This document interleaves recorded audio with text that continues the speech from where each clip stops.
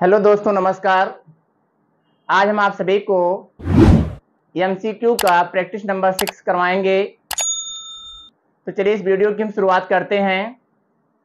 पहला क्वेश्चन हमारा है, Mohan as well as his friends उसके बाद डॉट डॉट यहाँ पर है गिल्टी और यहाँ पर प्रत्येक क्वेश्चन का चार विकल्प दिया गया है। इन्हीं चार विकल्प में से हमें किसी एक का चुनाव करना है, जो विकल्प सही होगा, उसी का हम चुनाव करेंगे। तो पहला क्वेश्चन हमारा है, Mohan as well as his friends. अब इसमें ऑप्शन ए इज़ है, ऑप्शन बी आर है, ऑप्शन सी एम है, और ऑप्शन डी जो है वर है। तो पहले हमें देखें, यहाँ पर आया हुआ है, एज वेल एज नियम है कि जब वाक्य में दो सब्जेक्ट एज वेल एज से विद से अलॉन्ग विद से जुड़ा हुआ हो तो जो सब्जेक्ट पहले आया हुआ है, उसी के अनुसार हम लोग वर्ब का यूज़ करते हैं। पहला सब्जेक्ट मोहन है, दूसरा सब्जेक्ट हिज फ्रेंड्स है। अब हमको यहाँ पे चार ऑप्शन में से एक ऑप्शन को चूज़ करना है, जो राइट हो तो इस नियम के अनुसार कि अगर दो सब्जेक्ट एज वेल एज से विद से अलॉन्ग विद से टुगेदर से जुड़े हुए हों तो जो कर्ता पहले आया हुआ है, उसी के अनुसार हम लोग क्रिया का यूज़ करते हैं। तो यहाँ पे मोहन है तो मोहन चूँकि सिंगुलर है प्रॉपर नाउन है तो मोहन के साथ आर का यूज़ होगा नहीं। इसको हम कट कर देते हैं। आई एम है आई एम का यूज़ आई के साथ होता है, इसका भी यूज़ नहीं करेंगे। वर है, ये प्लूरल सब्जेक्ट के साथ यूज़ किया जाता है। अब इसमें बच्चा हमारा option A question number first के लिए option A is the right option इस क्वेश्चन के लिए हम लोग ऑप्शन ए का चुनाव करेंगे। मोहन हमारा सिंगुलर सब्जेक्ट है और सिंगुलर के साथ हम सिंगुलर वर्ब का यूज़ करेंगे। इसलिए यहाँ पर हम लोग इसको फिल करेंगे और यह सेंटेंस हमारा राइट हो जाएगा। इसी तरीके से दूसरा सेंटेंस है you as well as he ready to go अब यहाँ पे दो सब्जेक्ट को एज वेल एज से जोड़ा गया है। दो सब्जेक्ट को एज वेल एज से जोड़ा गया है। पहला सब्जेक्ट यहाँ पर यू है। और दूसरा सब्जेक्ट यहाँ पर ही है। लेकिन नियम है कि जब दो सब्जेक्ट एज वेल एज से विद से अलॉन्ग विद से टुगेदर से जुड़े हों तो जो सब्जेक्ट पहला होता है उसी के अनुसार हम वर्ब यूज़ करते हैं। अब चूँकि यू हमारा प्लूरल है और यू हमारा सिंगुलर भी होता है, लेकिन इसके साथ आने वाली क्रिया हमेशा प्लूरल होती है। तो यू के अनुसार वास का यूज़ किया नहीं जाएगा। ऑप्शन ए रॉन्ग है। उसके बाद यहाँ पर हैज़ दिया गया है। तो हैज़ का यूज़ जो है वी थ्री के साथ होता है तो इसमें वी थ्री तो है नहीं। तो हैज़ का यूज़ नहीं करेंगे। उसके बाद ऑप्शन डी है यू के अनुसार इज़ आएगा नहीं। Option A option B option D wrong हो गया। अब इस क्वेश्चन के आंसर के लिए हम लोग ऑप्शन सी को चूज़ करेंगे। Option C is the right option you के अनुसार यहाँ पे आर आएगा। You as well as he are ready to go इस तरीके से यह क्वेश्चन हमारा राइट हो जाएगा। तीसरा क्वेश्चन हमारा है द टीचर्स टाट अब यहाँ पे सब्जेक्ट हमारा टीचर्स है, जो कि बहुवचन सब्जेक्ट है, बहुवचन करता है। और यहाँ पे क्रिया है वी थ्री टाट हमारा जो है वी थ्री के रूप में आया हुआ है। तो टीचर से यहाँ पे है। टीचर्स हमारा बहुवचन है तो बहुवचन के साथ हैज़ का यूज़ होता नहीं है। उसके बाद एम का यूज़ होगा नहीं, क्योंकि एम के साथ एनजी फार्म लगता है। वी फोर जिसको हम कहते हैं आई एनजी फार्म तो एम का भी यूज़ नहीं करेंगे। और डी में इज़ दिया है इज़ का भी यूज़ हम वी फोर के साथ कर, के साथ करते हैं तो इसका भी यूज़ नहीं होगा। इसलिए option C is the right option इस क्वेश्चन के आंसर के लिए हम लोग ऑप्शन सी को चूज़ करेंगे और यह सेंटेंस हमारा राइट हो जाएगा। अगला क्वेश्चन हमारा है द फर्नीचर न्यू अब ये फर्नीचर है जो कि सिंगुलर सब्जेक्ट है। तो सिंगुलर सब्जेक्ट के साथ वर्ड तो आएगा नहीं। ऑप्शन ए गलत है। ऑप्शन ए का चुनाव हम नहीं करेंगे। उसके बाद ऑप्शन सी है यहाँ पे बिल तो बिल का भी यूज़ हम नहीं करेंगे क्योंकि बिल के साथ भी वन आना चाहिए। इसमें भी वन नहीं है। तो ऑप्शन सी का भी चुनाव नहीं करेंगे। ऑप्शन डी यहाँ पे है। डी में आर है। आर का यूज़ हम प्लूरल सब्जेक्ट के साथ करते हैं तो ऑप्शन डी का भी चुनाव नहीं करेंगे।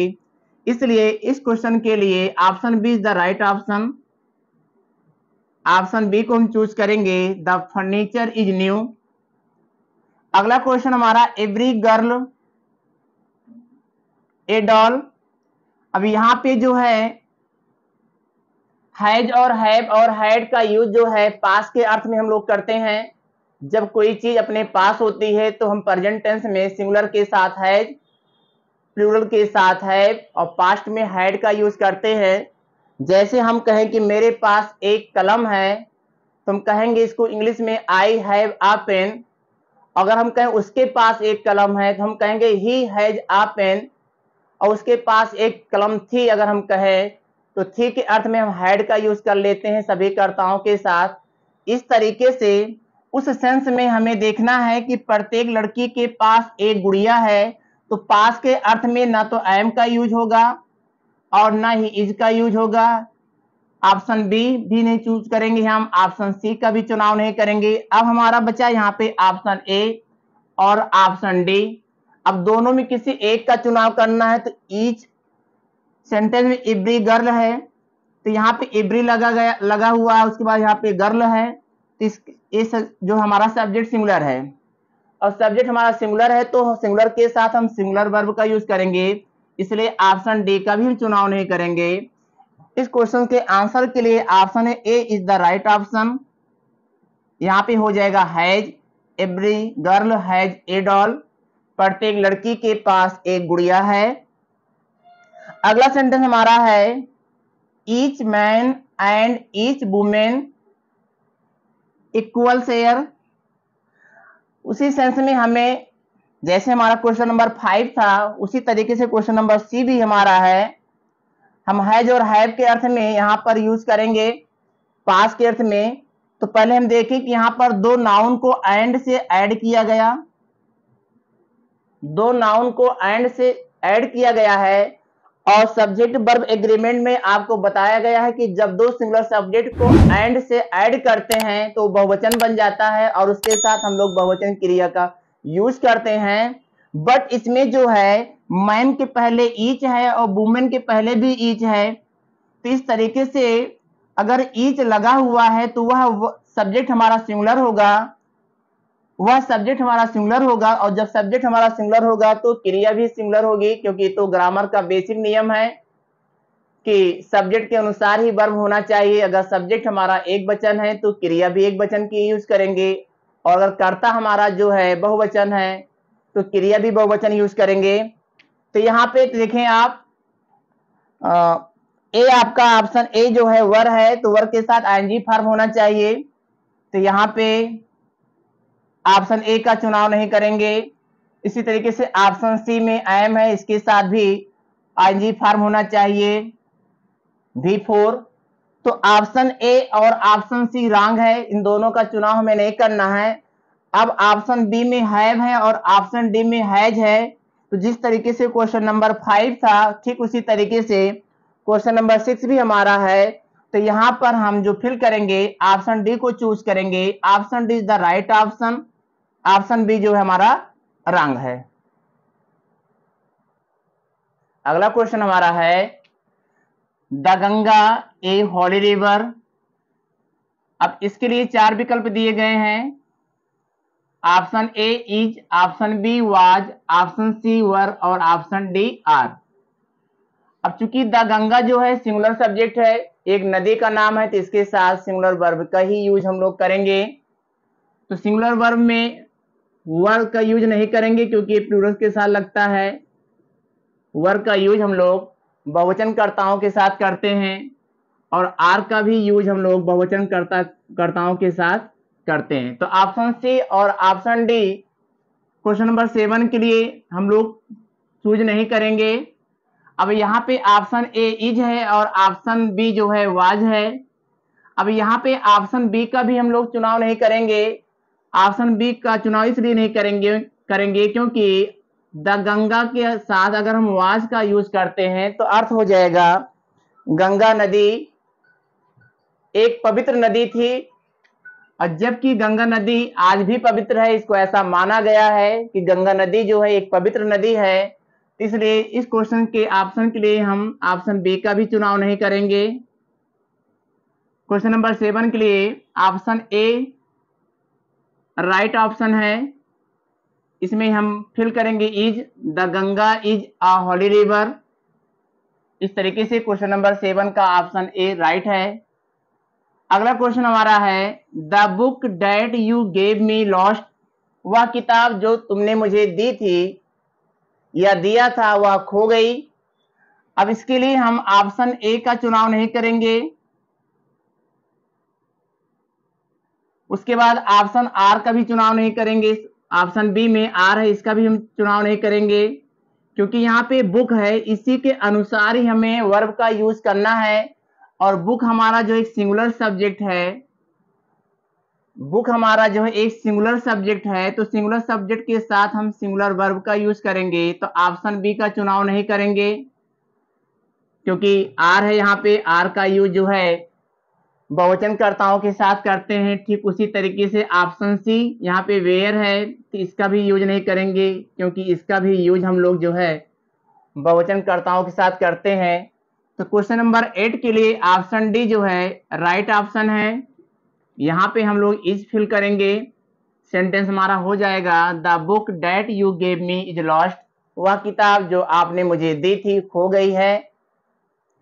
अगला क्वेश्चन है, Mr and Mrs Sinha. Mr और मिसेस सिन्हा, इसमें दो सब्जेक्ट हैं, एक सब्जेक्ट मिस्टर है और दूसरा सब्जेक्ट हमारा मिसेस सिन्हा है और दोनों को एंड से जोड़ा गया है। और रूल है कि जब दो सिंगुलर नाउन को एंड से जोड़ते हैं तो उसके साथ आने वाली क्रिया बहुवचन की होगी। तो ऑप्शन ए का चुनाव हम लोग नहीं करेंगे। ऑप्शन ए रॉन्ग है।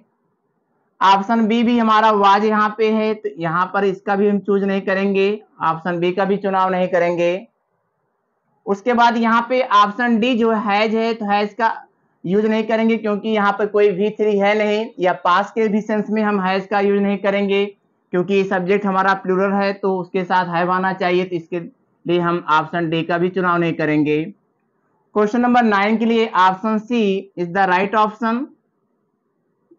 यहाँ पे हम लोग आर का चुनाव करेंगे। Mr and Mrs Sinha are in the park. Question number ten हमारा है। Half of the oranges rotten. Rotten होता सड़ा हुआ। अब यहाँ पे दिया हाफ़ ऑफ़। रूल है कि अगर हाफ़ ऑफ़ के बाद काउंटेबल नाउन है।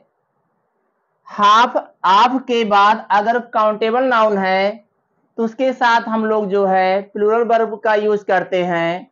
वो अगर हाफ़ ऑफ़ के बाद जो है अनकाउंटेबल नाउन है, जिसकी गिनती ना किया जा सके तो उसके साथ आने वाली क्रिया सिंगुलर होनी चाहिए। तो यहाँ पे ऑरेंज जो हमारा है, एक काउंटेबल नाउन है। इसकी गिनती किया जा सकता है। इसकी गिनती हम लोग कर सकते हैं। इसलिए यह सब्जेक्ट हमारा प्लूरल हुआ और प्लूरल सब्जेक्ट हुआ तो इसके साथ हम प्लूरल वर्ब का यूज़ करेंगे। तो वाज हमारा सिंगुलर के साथ लगता है। वाज का चुनाव नहीं करेंगे। ऑप्शन बी इज़ है, इसका भी चुनाव नहीं करेंगे। आई एम का यूज़ जो है आई के साथ होता है, इसका भी चुनाव नहीं करेंगे। तो क्वेश्चन नंबर टेन के लिए ऑप्शन डी जो है हमारा राइट ऑप्शन है। सेंटेंस हो जाएगा half of the orange were rotten. इस तरीके से यह सेंटेंस हमारा कंप्लीट हुआ।